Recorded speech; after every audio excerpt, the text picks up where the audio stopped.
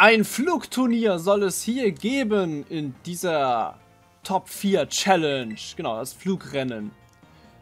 Verstanden. Du bist also bereit, ja? Bitte hol das Breit-Pokémon hervor, das du dabei hast. Äh, naja, also ich habe hier so ein gieriges, Sandwich-lebendes Koraidon. Ach ja! Du hast Glück. Dein Pokémon sieht aus, als hätte es das Potenzial zum Fliegen. Hier, Agia, ist das. Das heißt zwar nicht Agia, aber okay. Ja! Was ist eine neue Ability? Koraidon ist von Kraft erfüllt. Was dein Pokémon gerade zu sich genommen hat, besteht aus einer eigenartigen Pflanzenart, die hier in der Kuppel heimisch geworden ist. Ich habe daraus ein Mittel zubereitet, das die Flugfertigkeiten von Pokémon verstärkt. Nun kann dein Pokémon während der Challenge uneingeschränkt durch die Lüfte fliegen. Was? Einfach eine komplett neue Ability im DLC. Fliege auf Koraidon durch die Lüfte und versuche innerhalb des Zeitlimits das Ziel zu erreichen. Wenn du durch die Magnetilo-Ringe fliegst, erhältst du mehr Zeit. Mit dem linken Stick kannst du frei durch die Lüfte fliegen. Okay, nach oben aufwärts, nach unten abwärts und links rechts Richtung wechseln. Okay, also es ist die Num also es ist keine Inverted-Steuerung, so man eigentlich gewohnt ist in einem Flug. Okay, muss ich mal ein bisschen für Gefühl für haben. Muss erstmal spielen ein bisschen. Die Challenge kann beginnen. Ich wünsche dir viel Glück. Dankeschön und ich werde das natürlich easy schaffen. Nee, aber ich, ich wundere mich gerade wirklich, dass man einfach komplett fliegen kann. Also fliegen, fliegen. Nicht einfach nur so abgleiten, sondern wirklich in der Luft bleiben. Wenn das wirklich so ist. Nimm am Flugrennen teil in der Top 4 Challenge. Und danach haben wir dann einen harten, stahlharten Kampf gegen sie. Ich hoffe, ich bin ready dafür. Eigentlich nicht, aber wir gucken einfach mal. Es, es wird schon gut gehen. Bestimmt. So, wie lange müssen wir noch an Spiel? Also ich höre schon Geräusche, aber ich sehe nichts. Ah, jetzt. Dut, dut. Ja. Und go! Ja, okay, es ist einfach... Okay, nee, die Steuerung macht Sinn. Dass es so rum ist. Alles klar, also, wir sollen den Ringen folgen. Wir spielen einfach Superman 64. Aber mit actually guter Steuerung. Was heißt guter Steuerung? Also es ist natürlich, die Steuerung ist trotzdem ein bisschen noch ein Hindernis. Ihr seht ein bisschen, wie schwammig es ist. Also, wenn ihr es selber spielt, dann merkt ihr auf jeden Fall, was ich meine. Aber besser als das alte Spiel auf jeden Fall. Das, das kann man auch nicht äh, schlechter machen, glaube ich. Na, wie auch immer. Ich glaube, wenn wir... Oh, es hat doch gezählt. Wenn wir durch die Ringe fliegen, ist es besser, als wenn wir drumherum fliegen. Also, ich denke mal nicht, dass wir dann verlieren, aber... Wir sollten es nicht provozieren. Also, das war's schon. Bitte sag mir nicht, das war's schon, weil es wäre echt richtig lame. Nein. Es war eine Runde 1 von 3, oder? Was? Das ist immer noch der gleiche brennende Ball aus irgendeinem Grund. Oh Mann, jetzt bin ich enttäuscht. Das war ja Baby einfach. Das ist jetzt meine Oma. Also, selbst ohne Magnetilo-Ringe hättest du genug Zeit damit gehabt. Eine fabelhafte Demonstration eurer Flugkünste. Das Zeitlimit habt ihr vorbildlich eingehalten. Damit hast du meine Top 4 Challenge bestanden. Herzlichen Glückwunsch. Wir sollen unseren Standort erneut wechseln. Bitte folge mir erneut. Na, jetzt kommt der Kampf, ne? Jetzt kommt ein... Ja, ein, ein Fight Night. du hast dir das Recht verdient, gegen mich zu kämpfen.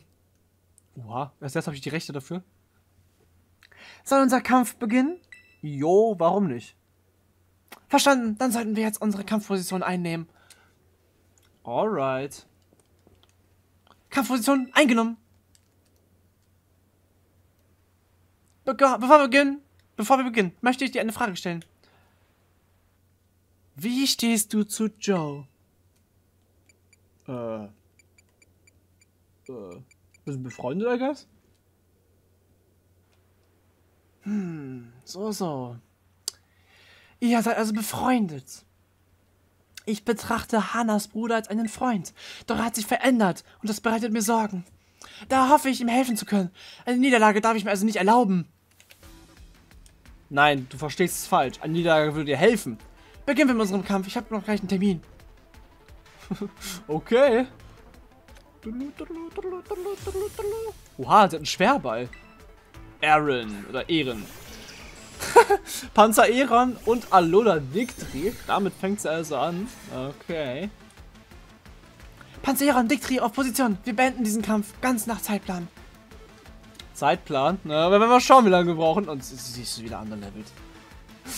Oh, man. Okay, auf wen würde ich den Voltwechsel treffen können? Auf Panzer Aero kann ich ihn treffen. Und du versuchst mal deinen Drachenpuls. Guck mal, wie viel Damage das macht. Uh, Erdbeben. Oh, no. Oh, Bellyball überlebt. Oh, sehr gut, dass ich Voltwechsel eingesetzt habe. Okay. Oha, das lädt natürlich auf. Also, oh nein. Oh, Panzer wurde schneller. Ich bin nicht bereit für diesen Kampf. Oh no. Drachenpuls! Oh, fast gekillt. Aber leider nicht ganz ausgereicht. So viel Pech kann man also haben. Danke für die Lektion. Ja, gerne, schätze ich. Okay, wen schicken wir stattdessen mal rein? Wie wäre es mit Fatalicia? Ja, obwohl Panzer Iron, ne? Ja, müssen wir einfach hoffen. Müssen wir einfach hoffen, würde ich sagen. Und Querschuss greift beide an. Also sehr vorteilhaft für uns. Und ansonsten machen wir mal einen Drachenpuls. Oh, wow. Sag mir nicht, ich, ich schrecke jetzt zurück wegen dem Tiefschlag. Ich hoffe nicht. Genau, ich habe ein Item gesetzt. Einen Schwächenschutz. Und das bufft mich jetzt sehr, sehr stark. Aber dafür ist es aufgebraucht. Es war sehr teuer. Also wenn ich jetzt sterbe, ist alles umsonst gewesen. So wie, was, wie viel da war es? 5000 oder so? Poké-Dollar? Keine Ahnung. War auf jeden Fall nicht billig. Also nicht super, super billig. Und deshalb hoffe ich, dass jetzt beide... Ja, geht kriegt zumindest down, aber sonst macht es gar keinen Damage. What? Oh no. Sie hat wahrscheinlich auch sechs Pokémon, oder? Wir müssen uns auf jeden Fall ein Zeug legen. So, Alubadictri ist nochmal down. Das Ding kann gefährlich werden. Ach, Level 94 ist so hoch. Warum kriegst am meisten XP? Ich meine, okay, ist immer im Kampf, aber trotzdem. Nein, nicht gut. Nicht gut. Empoleon? Die nächste mit einem richtig krassen Starter-Pokémon. Wasser, Stahl. Oh, man.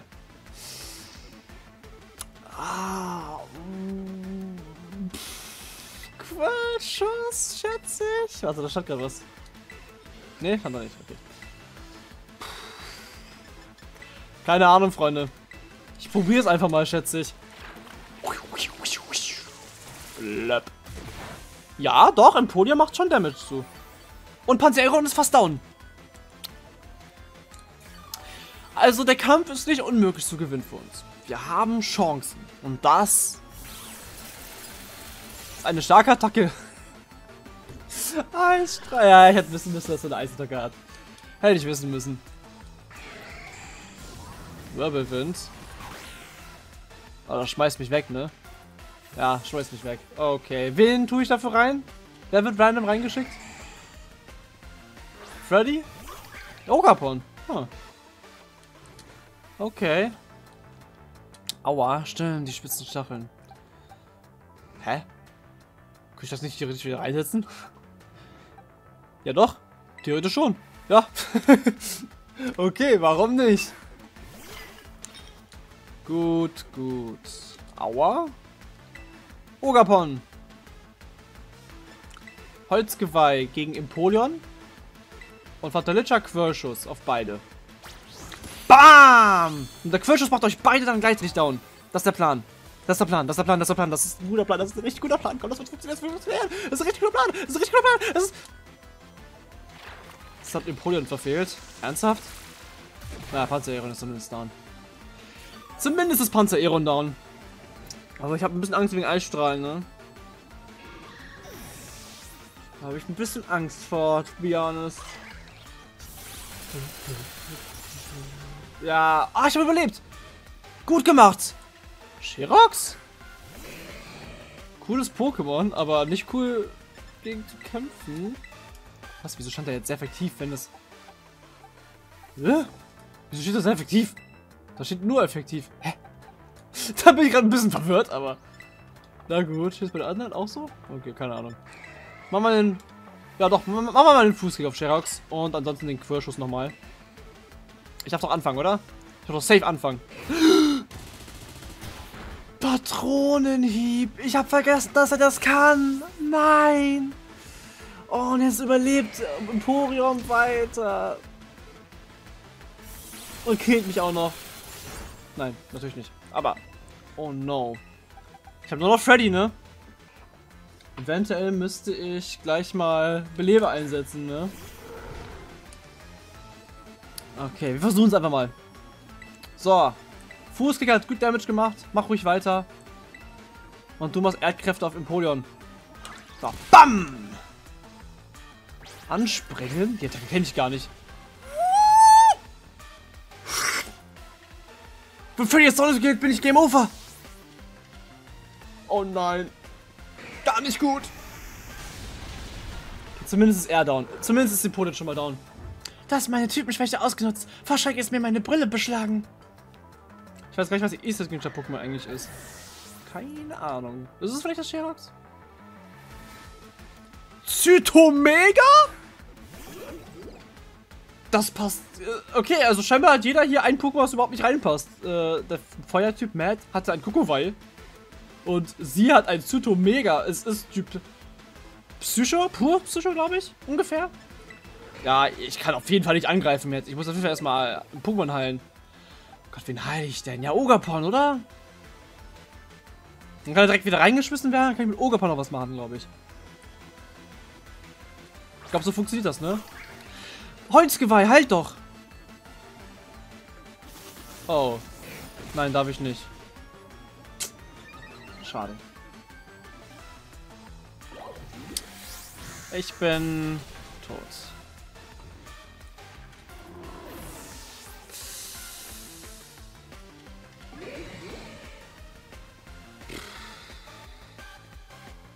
Ja, ich muss beleben. Also, mir bleibt nichts anderes übrig. Sonst bin ich hundertprozentig tot. Ich muss überlegen, wen heile ich jetzt? Meine Gegner sind Zytomega, Typ Psycho und Sherax, Stahl, Käfer? Also, ein Pflanz-Pokémon würde keinen Sinn machen, wegen Sherox. Beulenhelm wäre halt nett. Ich versuch's mal. Mit ihm. Mit Bellyball. Mhm. War bin ich jetzt Game Over? Nein, ich habe doch Beleber eingesetzt. Das kann nicht sein. Das kann nicht sein. Bizarro Raum! Oh no. Ja, Leute. Das sieht nicht mehr so gut aus. Gar nicht gut aus. Ich weiß halt nicht, was ich tun soll, ne? Warte, wenn Ogapon ständig down geht.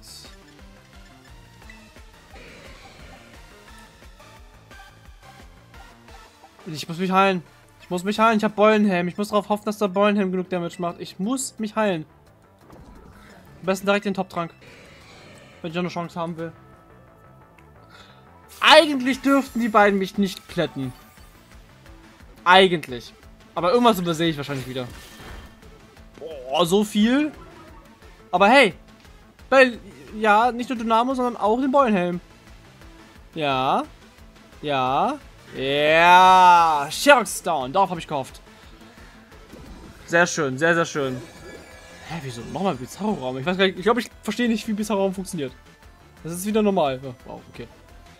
Der letzte Pokémon ist ein Mesa groß. Oh mein Gott. Ich bin so tot. Äh, okay, Meter groß ist Stahl. Stahl, was noch? Nur Stahl? Ich versuche mir noch mal mit Freddy, auch wenn es eine dumme Idee ist. Ich weiß, ich weiß nicht, was ich tun soll, ehrlich gesagt. Komm, raus damit. Okay. Ah, das ist halt kacke. Die letzte Zeit läuft. Lass uns diese Angelegenheit zum Abschluss bringen. Oh, hell no. Uh, Miep. Also vom Meter groß habe ich Respekt. Jetzt ist es auch noch Typ Stahl. In Terra Crystallize. Uh, überlebt. Ah, es hat für mich überlebt. Sehr nett. Aber ich glaube, du bist sowieso tot wegen Tutomega, oder? Kann das sein? Nee, Warum sitzt jetzt dreimal miteinander? Okay, keine Ahnung. Ich äh, bedanke mich, dass ich noch am Leben bin. Heile mich kurz. Und... Äh... Ja. Heile mich kurz. ja. Ich bin sehr froh, dass ich den Beulenhelm hier drin habe. Der ist gerade der MVP gefühlt. Killt mich das ernsthaft? Äh,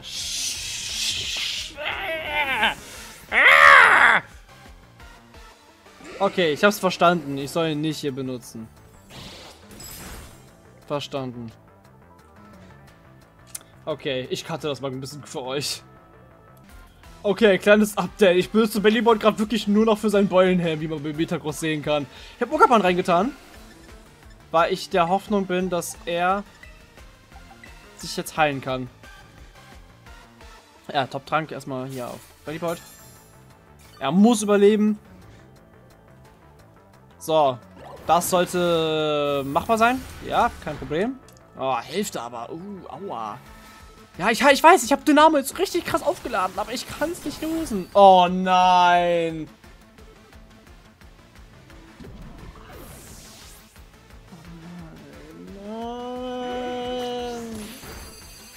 Ja, schön und cool. Damit überlebst du eine Attacke noch, aber...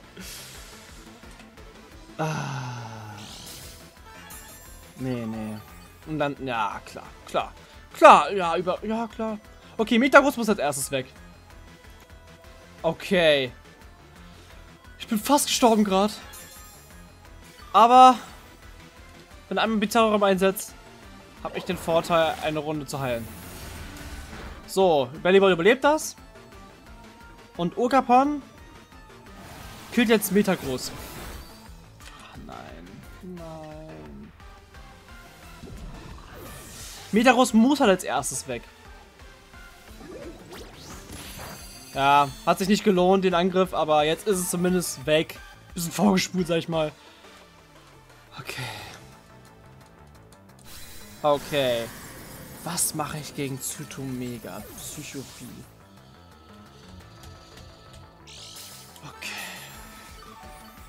Ja, es hat halt Überreste und es heilt sich halt ständig auf. Aber jetzt ist es das einzige Target. Okay. Okay, okay, okay, okay. Ich denke, ihn wieder zu beleben ist keine schlechte Idee. Ich muss auf jeden Fall nach dem Kampf mal Beleber kaufen. Wäre keine schlechte Idee. Oh Mann. Herzenspartner Bellybold. Wie nett. So, zwei gegen ein. Das ist machbarer. Und vor allem, er greift mich gerade nicht an. Da habe ich gerade einen Vorteil. So. Zytomega. Lange wirst du nicht mehr mega krass bleiben. Ich weiß, bis jetzt Full Heal. Aber Mach mal erstmal den Donnerblitz. Zusammen mit einer Rankenkeule. Wenn das nicht killt, dann weiß ich auch nicht. Hey, ja! Boah, so ein Crit. Und jetzt. Bam! Uh, es überlebt noch. Es überlebt noch. Nein, nein, nein, nein, nein, nein, nein.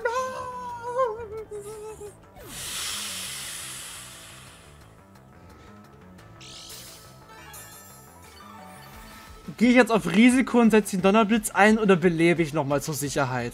Ihr kennt mich. Ich belebe nochmal zur Sicherheit. Ich traue mich das wirklich nicht. Damit verschwende ich halt noch ein bisschen Zeit, aber damit haben wir den Kampf zumindest gewonnen. Junge, ich war nicht vorbereitet auf diesen Kampf. Aber ich habe ihn trotzdem irgendwie gewonnen, irgendwie geschafft. Ich weiß auch nicht wie, aber ich habe es geschafft. Schutzschild. Hat sich also sowieso nicht gelohnt. Okay. Ja, Überreste halten halt auch ständig, deshalb kann ich das gar nicht einschätzen. So, Freunde. Sie ist somit auch schon mal besiegt. Wir haben noch Zeit, also theoretisch könnten wir auch noch die Prüfung machen von Levi, zu dem wir als nächstes hingehen. Und Level-Ups haben wir uns verdient. Hm. Ich konnte nicht mit dir mithalten. Habe ich gemerkt.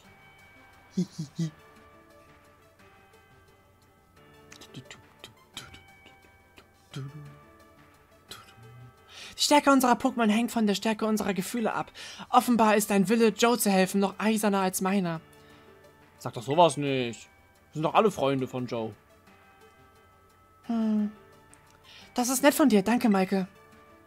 Gut, es wird Zeit, deinen Sieg über mich mit einem Foto festzuhalten. Oh yeah! Oh, ein süßes Herz. Schön.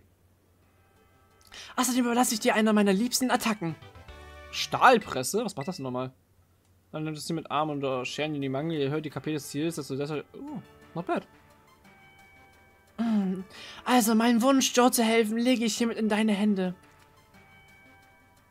Es ist Zeit zu gehen. Entschuldige mich.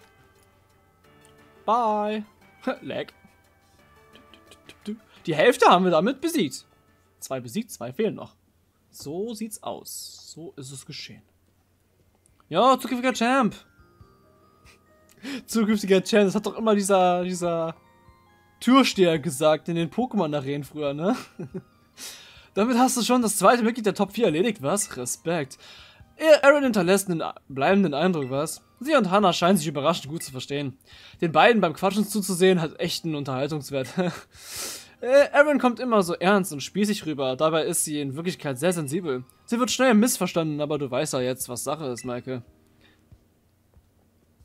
Joe, du scheinst in der Blaubeerliga ja gut voranzukommen, Maike. Na sowas, der Herr Champ, bist du hier, um die Konkurrenz auszuspionieren? Ich hatte mir Sorgen gemacht, weißt du. Was, wenn du in der Zwischenzeit schwächer geworden wärst? Aber du hast dich zum Glück nicht verändert. Du darfst auf keinen Fall verlieren, bevor du es zu mir schaffst, hörst du? Werde ich auch nicht.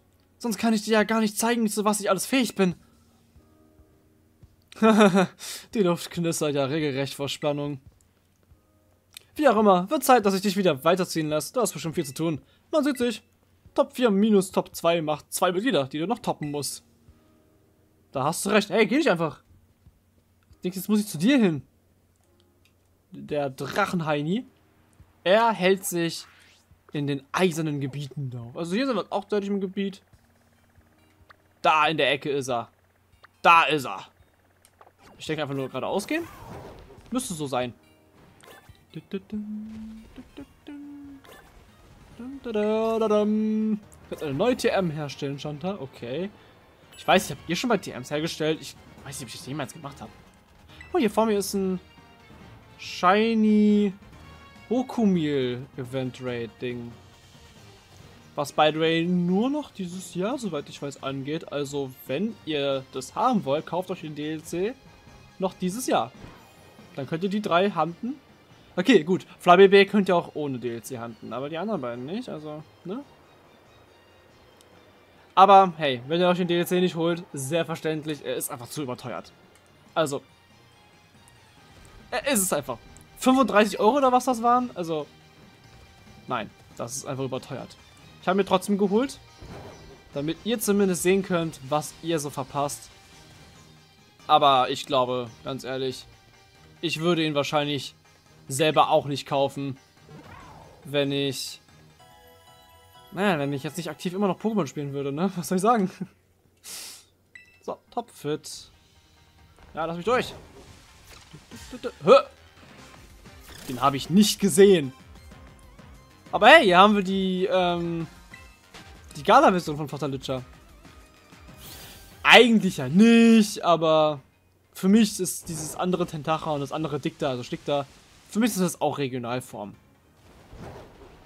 So. Da bleibe ich bei, da könnt ihr mir sagen, was ihr wollt. Da bleibe ich jetzt erstmal bei. Auch wenn es ja theoretisch nicht stimmt. So, und das Schneegebiet sieht irgendwie sehr, sehr ähnlich aus zu... Also nicht sehr ähnlich, aber es erinnert mich halt total an dieses eine Schneegebiet aus dem Schwert und Schild zweiten DLC. Da geht's ja, da war ja komplettes Schneegebiet. Jetzt hier wieder sowas zu sehen im zweiten DLC, in diesem Spiel. Weiß nicht. Just same. ist immer das gleiche. Schneelandschaft. Oh, da ist es. Sehr offensichtlich, würde ich so behaupten. Hier in dem Areal könnt ihr übrigens irgendwo einfach mal überall A spammen. Irgendwo könnt ihr hier auf jeden Fall ein ähm, Item bekommen, womit ihr Hokumi entwickelt. Also ein Zuckerding. Ich weiß nicht genau wo, irgendwo hier. Apropos Entwicklung. Bei Levi kriegen wir etwas, womit wir unser Drapfel, beziehungsweise unser Srapfel entwickeln können. Ja, ja. Das können wir hier bekommen. Ah, willkommen im Polarplatz. Du bist Maike, ne? Ja, okay. Das kostet dich 50 PP. Ah, die hast du ja. Wunderbar. Schön hast du gefarmt. Momentchen, nicht so schnell. Sie darf umsonst mitmachen. Oh, danke. B bist du dir sicher, Levi? Das widerspricht dann aber den Regeln. Ach, immer diese Regeln. Dann übernehme ich eben die Gebühren. Besser. Aber, also... Na gut, ich mache eine Ausnahme. danke, hast was gut bei mir. Yo, zukünftiger Champ. Komm, gehen wir zum Kampfplatz. Was, keine Challenge? Also Levi wird immer so sympathischer, muss ich sagen. Er ist so locker drauf. Dir diesen heftigen Kampfplatz rein, Girl. Mit seiner Zahnpasta-Frisur. Okay, okay, eigentlich ist er nicht viel anders als die anderen Kampfplätze, nur ein bisschen kälter. Ich mag so eisiges Wetter, ziemlich unüblich für jemanden, der auf Drachen-Pokémon spezialisiert ist, was? Weil Eis ist ja sehr effektiv gegen Drache. Tja, so bin ich, unberechenbar. Aber bis wegen meiner Top-4-Challenge hier und nicht, um dir mein Gelaber anzuhören. Bei meiner Top 4 Challenge dreht sich alles um exklusive Kuppelkämpfe. Die Regeln sind super easy. Wenn du gegen meine drei Buddies aus der Liga AG gewinnst, hast du bestanden. Finito. Aber du kannst nicht einfach jedes x-beliebige Pokémon einsetzen, auf das du gerade Bock hast. Nur wilde Pokémon, die du in der Terra-Kuppe gefangen hast, sind erlaubt. Oh nein. Außerdem musst du sie selbst gefangen haben. Oh nein. Wenn du Pokémon im Team hast, die diese Anforderungen nicht erfüllen, gibt's auch keine Challenge für dich. Jo, ich weiß, dass solche Regeln nervig sind, aber wär doch. Äh, Wenn du einfach mit deinen überlevelten Pokémon durch die Challenge ra rauschen würdest. Okay, hat aber recht. Und hey, deine Gegner müssen dieselben Regeln befolgen. Das klingt doch fair, oder?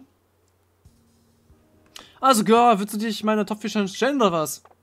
Ich muss erstmal fangen. Ah, okay, dann mach das. Ja, das tue ich dann erstmal offscreen, Leute. Bis zur nächsten Folge, wo ich dann jetzt erstmal offscreen ein paar Pokémon für ihn fange. Ich schätze mal, wenn der Typ Drache ist und wir nur Eisgebiet sind, fange ich mal ein paar Eis-Pokémon, oder? Ich denke, das ist gar keine schlechte Idee.